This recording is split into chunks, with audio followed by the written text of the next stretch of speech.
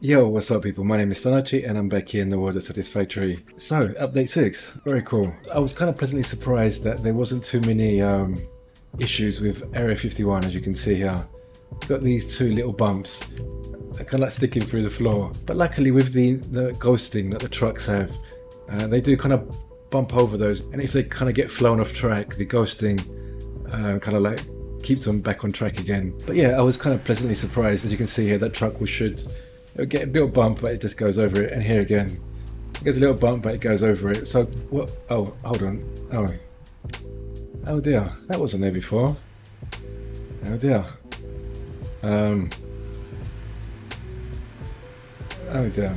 well, for the most part, it's gone pretty well. I'm not even sure if that is an intended uh, change to the terrain because it's one of those games where you can manipulate the terrain and you can like raise and lower the terrain. They accidentally press the left mouse button a few times without noticing on one spot and just raise the terrain in like a, a little mound because it doesn't look like it's meant to be there. Anyway, hopefully they'll fix that. If they don't, uh, luckily thanks to the ghosting, the trucks they seem to just kind of bump a few times onto it and then carry on their journey. And uh, yeah, go on, my son. Yes, yes.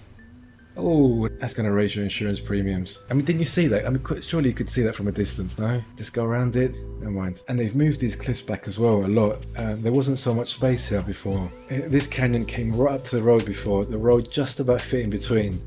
So they've moved the canyon back here, which is okay. And they kind of brought the canyon out here, which kind of went into the the uh, the truck station there, but just about get away with it, just about. And uh, so I made some small changes to make all this fit and had to redo the, the oil pipes as well because uh, because all the oil nodes they kind of moved around. But luckily most of that remained unaffected. The addition of the waterfall is kind of cool.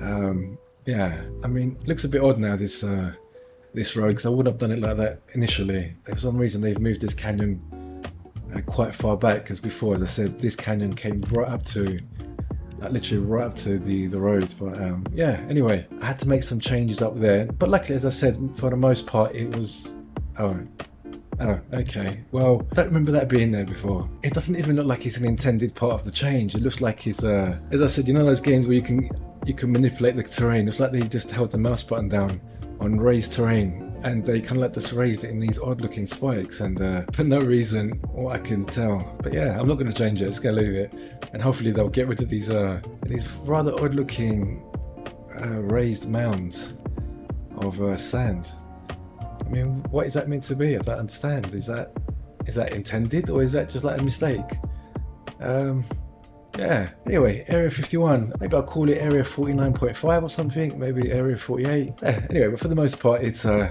still functional and uh, most of the, the terrain hasn't made too much of an impact, apart from the two, uh, two or three obvious things that I, I, showed.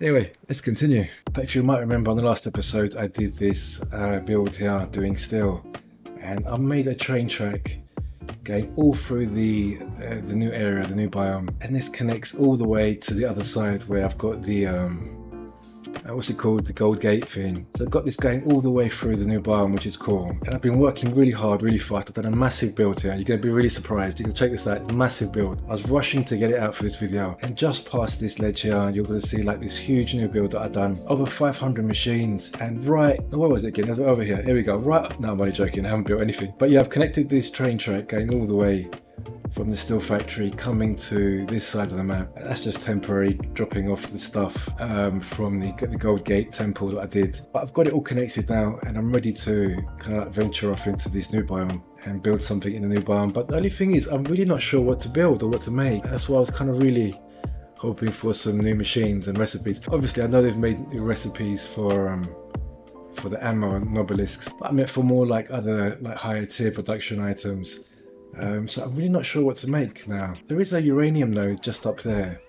So I was thinking maybe to do a nuclear power station uh, somewhere there, but uh, I'm not sure. But I have been working on a small little build over here and I'll head to that now. I don't know about you, but I've also noticed the lighting. Um, everything looks a little bit brighter. Uh, loving the volumetric clouds. Oh, there is no clouds at the moment, but yeah, I'm loving the new clouds. And uh, coming from England, I'm kind of used to lots of clouds, but it definitely looks a lot different. It definitely changed something. But yeah, no complaints anyway. It still looks really good. So some time ago, I did a little build here just on top of the uh, the end of Eden. It was like a configurable one. Uh, what was it? A manufacturer using biomass burners to kind of have this um, configurable production for the consumables. That was the filters and the rifle ammo and nobelisks. But of course they've changed all that now so that was uh, pretty much redundant. So I actually decided to redo this completely and I thought I might as well make this a starter area as well and, I'm, and I put the um, what's it called? The uh, the hub at the top there as well. So it's not configurable this time like the last one um, because uh, I don't really have much space. I've got this tiny section underneath this floor and uh, so there's not too much space to do a large configurable production. But I managed to fit in uh, most of the um, the new items, that is the new uh, new Nobelisk and the new ammo in this uh, this small little build here. And kind of made it like a starter area as well, which I think is worked out kind of cool because um, you've got good access to the train station, uh, which leads you to uh, all the all the areas around the map that's all connected on a network. And also, of course, we've got access straight into Eden. So I thought it made sense to make this like a starter hub area and put the hub on the top, make it a more permanent fixture. But a couple of the new recipes for Nobelisk and the ammo needed this new uh, smokeless powder and that needs some of this um, heavy oil residue. So I've got an old build over there doing aluminium. So it's really easy just to get a little bit of a heavy oil residue uh, coming down there. And as you can see, you've got the one one refinery sticking through the floor because there's not much space under there. I've got a very small amount of space uh, to fit some machines. Uh, but yeah, so that's doing the smokeless powder. And actually, you know what? Again, let's just go underneath. It's really messy under here. So I just about managed to fit some machines to uh, to all of the new Nobelisks and cartridges, and also to have some of that recycling for the um, what they the, the new alien parts to turn into the protein. I've got some machines for that as well. Um, so this is a tiny space and that's all the space that I've got to do all this. So I couldn't really go to town with any kind of configuration. And that's alright, you know, that's alright, doesn't matter. So I've called it Eden Munitions because in here I've made it so we can do all of the starter tools and equipment. Let's just go inside now. So coming on in, as you can see, Eden Munitions. And I've got a few signs kind of showing some of the items that we can make. The items going into the storage. And here we've got a deposit container. I can deposit anything into the container. It will go into the um, Eden's kind of like a sorting facility. They haven't added all the new signs yet for all the new items, but I've got it so if you put in uh, leaves or wood, it will recycle into biomass. But if you put in biomass, it will recycle that into the uh, solid biofuel. And again, all the alien organs, it will turn that into protein. But they haven't added the um, what's it called, the the symbols yet for the new items. So I haven't added that yet. But if we come up one floor, uh, I've got one of these um, what they called um, workshops and I've added 22 containers which have all of the items needed uh, to produce any of the any of the tools or any of the equipment or weapons. So if you spawn at the top here, uh, you can just come here and um, make any equipment that you might need to start off. Then if you come up the floor, it's got a pretty cool view here and we've got the uh, the Manta flying just on top. We've got the new equipment here. So on this one we've got the um, homing rifles, on this one uh, what's this one? The turbo rifle. And on here we've got the basic uh, rifle ammo. Here we've got the basic Nobelisk, and on this one we've got the um, the cluster, and this one the uh, the pulse ones. I haven't done the gas Nobelisk and the um, the nuke. It needs that encased uh, uranium cells, and that's a right pain in the ass to get here. So I thought I'm not going to do that here. I don't want to get radioactive items here as well. Uh, so I'll save the uh, mini nukes for uh, another build. But at least I've got the cluster and the pulse nobelisks. We've got the turbo and the heat seeking. Not the heat seeking. What is it again? Um, what's it called again? The homing rifle. That's it. Here we've got the package fuel for the jetpack. We've got some batteries for vehicles. On this one, we've got all of the organic stuff going into that one. Equipment will go in there. And then we've got the gas filters and the iodine infused filters. And then if we go up, we've got another floor uh, where I've added a um, research MAM.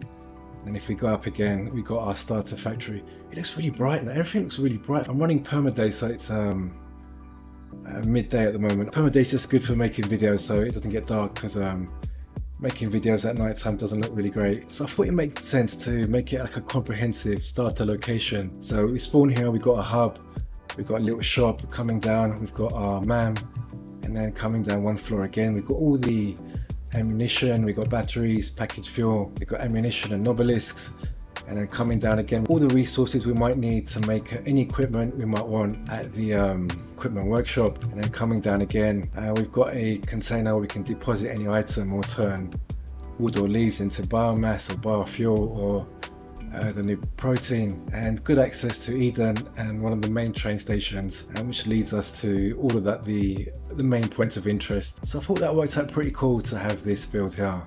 And uh, it's not configurable uh, if I had more space, I would have liked to make like a little configurable setup, but um, yeah, it's okay. And I'm thinking possibly to do uh, the nuke nobelisks.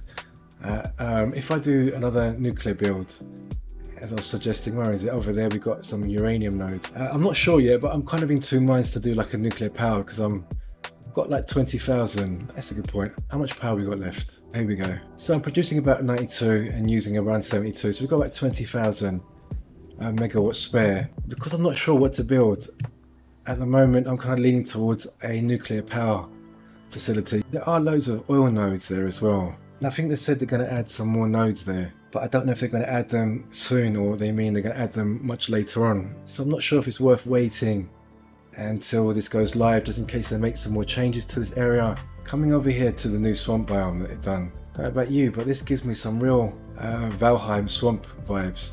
And since Coffee Stain Studios was the um, the publisher for Valheim, uh, I wouldn't be surprised if they got some inspiration from the uh, uh, from the, the, swamp area in Valheim. But I was glad that nothing was kind of clipping through the. Um, oh, okay. Uh, yeah. Well, anyway, apart from that one, I was kind of glad that uh, nothing too significant was kind of clipping through.